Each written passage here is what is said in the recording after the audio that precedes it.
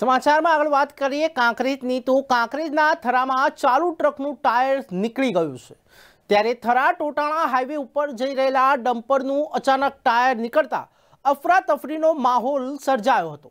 ત્યારે ટાયર નીકળી દુકાનમાં ઘૂસી જતા ફ્રીજ સહિતની સામગ્રીને નુકસાન થયું છે. દુકાનમાં રહેલા વેપારીનો આ બાદ બચાવ થયો છે ત્યારે સમગ્ર ઘટનામાં જાનહાનિ ટળી છે.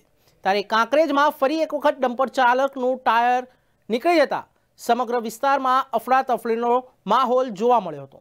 કાંકરેજના થરામાં ચાલુ ટ્રકનું ટાયર નીકળી ગયું હતું ત્યારે દુકાનમાં ઘૂસી જતા ટાયરમાં નુકસાન થયું છે દુકાનની અંદર ત્યારે આ ઘટનાની અંદર કોઈ જાનહાનિના સમાચાર સામે આવ્યા નથી.